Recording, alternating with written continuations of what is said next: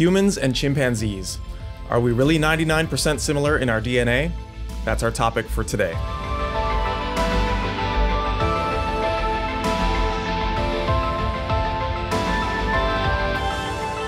Hi, I'm Keaton Halley here with Dr. Matthew Cserhati, one of our newest uh, speakers in our CMI US office. Okay, Hi, greeting- Matthew. greetings, everybody. Thanks for having me on the show. Yeah, yeah, glad you could join us. And as I mentioned, our topic today is the uh, alleged genetic similarity of humans and chimpanzees.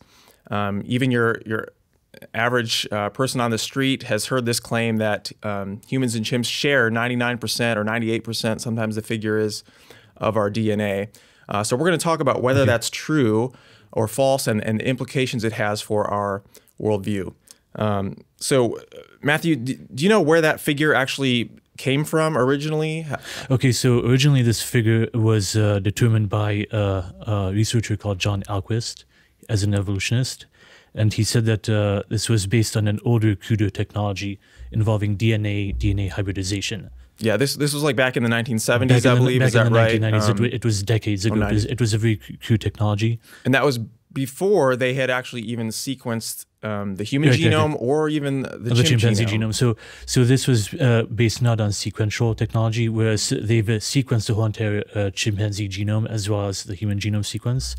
And when we look at uh, newer data, uh, uh, other research uh, studies show that this uh, uh, sequentially, when we talk about sequence similarity, we get numbers as low as 96.5%, even as, as low as 87%, or even as low as 70%. The interesting thing is that when they uh, sequenced the uh, chimpanzee genome and they aligned it to human, they found big differences between the two genomes. In fact, only 70% of the chimpanzee genome actually aligned to the human genome. It's a very big gap. There are lots of missing regions between the two genomes. Yeah. So this, this is very significant. And right, in effect, Matthew, you're saying that um, it's, it's it's almost like an urban legend that um, humans and chimps share 90, 99% similarity in their DNA. This is something that the, the figure keeps getting kicked around, and everybody knows that it's true, and yet it's it's But actually, a myth. so actually, let's take a look at this one percent. Uh, the human genome sequence is uh, is three billion base pairs, and even if this one percent figure is true, let's take a look at the numbers. Yeah. This would correspond to uh, several hundred genes which are present uh, in human as opposed to chimpanzee. And this is actually quite a lot. This can Yeah. cause. This could be responsible for quite a bit of difference. And you know, people they they emphasize like similarities, but there are also quite a large number of differences between uh, chimpanzees and humans. Uh, so, for example, um, if we look at regulatory regions, uh, we, we find that uh, uh, for 17%, one sixth of all the regulatory networks in human are missing from chimpanzees. And uh, they've actually counted the number of uh, differing genes between chimpanzees and humans. There are about 1,400. And about, uh, for example, about 10% of these genes cause differences in the brain region. And again, if you look at the brain region of chimpanzees and humans, they're very different. There are regions in the human uh, brain which which which uh, are responsible for speech, which chimpanzees don't have, and there's also a very major difference between uh, us and chimpanzees. Yeah, and th- this is a major problem, of course, because, like you said, even if we sort of grant the assumption that we are only one percent different, that's still we're we're talking about 30 million letters differences between humans and chimps today. Um, and supposedly, the, the evolutionists say that we had a common ancestor six million years ago. But can you really uh, Well, I mean- achieve that many differences in that? uh, I mean, it's a long amount of time, but but it's relatively short to get that many well, changes, I mean, uh, right? uh, six million years, according to current uh, genetic mod- models taking uh, uh, mutations into account, uh, even six million years is uh, incapable of accruing all these mutations. Uh, but we can also look at uh, at gross, uh, the gross uh, similarity between chimpanzees and the human genome. Uh, for example, if you look at the Y chromosome, uh, the chimpanzee Y chromosome is only about half the size of the human Y chromosome. Mm. Yeah, that's that, a, that's that a- was a shock, right? When they Yes, yes, discovered yes, that the, very much the. Y chromosomes were radically different They're um, between different. humans and chimps. And we can also talk about uh, chromosome number two. Uh, evolutionists like to point out that, uh, or they try to point out that, that uh, uh, chimpanzee chromosome 2A and 2B they fused uh, to form uh, what is what they think is uh, human chromosome number two. Uh, I think that uh, chimpanzee chromosome 2b should be called uh, uh, chromosome number 3 in chimpanzees. The fact of the matter is that uh, creation scientists, uh, researchers, we analyzed the, uh, the the alleged fusion point between chromosome 2a and 2b in chimpanzee, which should correspond to in human chromosome number 2, and they found all these regulatory and all these functional elements. Uh, evolutionists allege that uh, two chromosomes in chimpanzee fused uh, to form a single chromosome in human. Yeah, and, and for the for the lay audience who might not even know what chromosomes are, um, these are like the when DNA gets all wound up together and bundled in these huge um, chunks. It, it's like like big continuous chunks of DNA, and we, uh, you Yeah. might remember in high school that that humans have 23 pairs of chromosomes, chimpanzees have 24. Right. and so hence a fusion. so that's yeah, that's one of the differences in effect that they actually have an extra chromosome compared to us. Exactly but- exactly. What the evolutionists claim is that two of these, um, not not in the chimpanzee, but in the common ancestor between chimps and humans, they say these uh, the other apes have 23 pairs of chromosomes, and that two of these fused to form human chromosome number human- two. Right, that's what they say. But uh, upon closer examination, we find that this alleged fusion point between the two chromosomes, uh, it's not functionless. There's a lot of uh, functional elements in that region, meaning that that uh, it really, really disproves the idea that that uh, two chromosome ends just randomly got tacked on. Yeah, joined another. together. Yeah, it really Yeah, we, we it. know chromosome fusions can happen. That they they seem to be rare in nature, but an end-to-end fusion would be um, very Actually, we see these kinds of things in, in cancer, which is not quite not something Yeah. that would uh, help the fitness of a given organism. Yeah, very good. And we've written a lot more uh, about that. We can't go into much more depth about chromosome fusion, but it's uh, it's a hotly contested area uh, between creationists and evolutionists.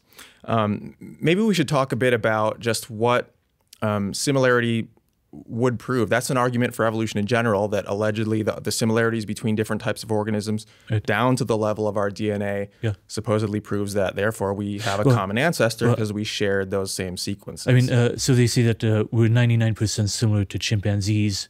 Uh, and again, this number is very contested. Different groups show different uh, statistics. But then uh, we're also 50% similar to bananas, or we also have genes in common with yeast. Does it make us half banana or half daffodil or whatever?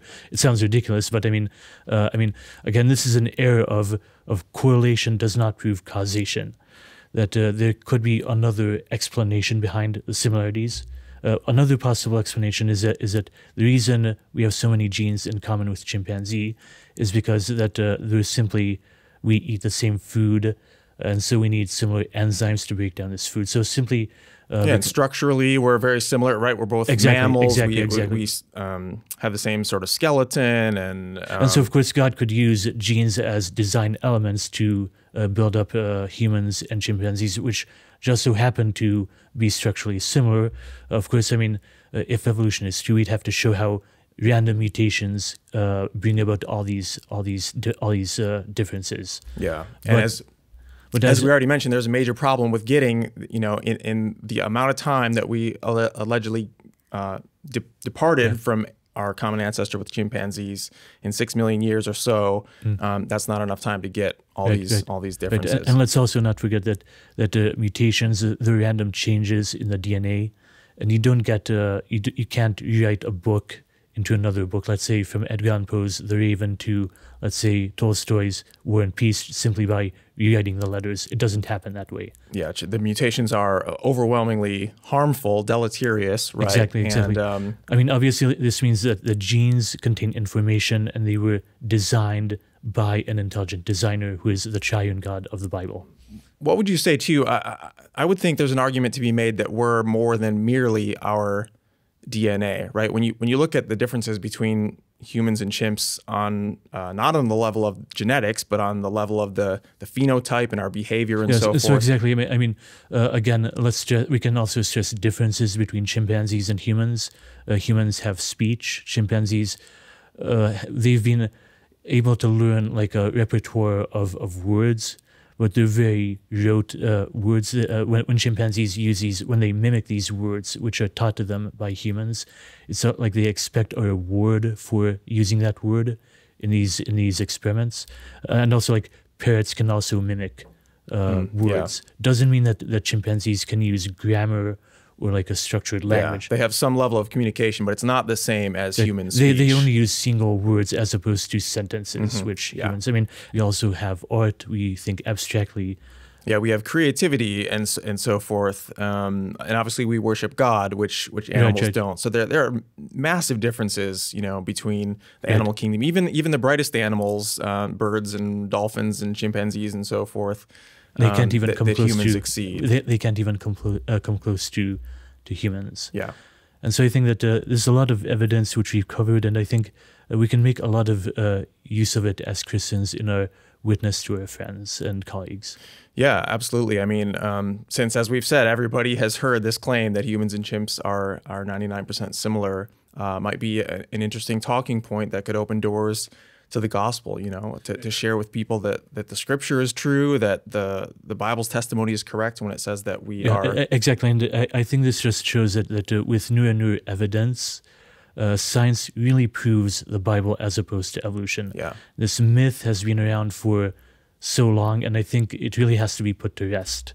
That uh, this is a truth that that uh, that we were made in God's image. We're, we're very separate from the animals. Yeah, there is no continuation between chimpanzees and humans. Again, let's stress differences as opposed to similarities. yeah.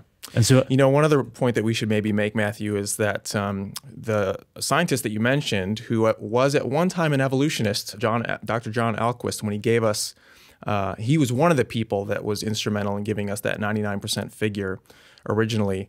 Well, he's since uh, become a Bible believing a Bible believing creationist. That is Christian. true. Yes, and uh, and I've worked with him uh, on a paper before. So Yeah, we we interviewed him as well in our Creation magazine. Yeah. Um, and so if people want to um, be exposed to that kind of content, well, uh, sign up for Uh, and- Creation magazine, right? And I think this also goes to show that that uh, that uh, this evidence it it convinces high level scientists as well. yeah. Many high level scientists, uh, including myself, uh, when we're faced with the evidence, we, when we put together the pieces, we see that really the Bible is better supported as opposed to evolutionary theory. Yeah, and and Dr. Ahlquist himself now regards um, the the evidence of human ape similarity as consistent with his his biblical worldview. Right. Now, if people want to get access to that interview with Dr. Ahlquist, well, we will put a link uh, below in our show notes, as well as other links to relevant articles uh, rel- related to the content we discussed today.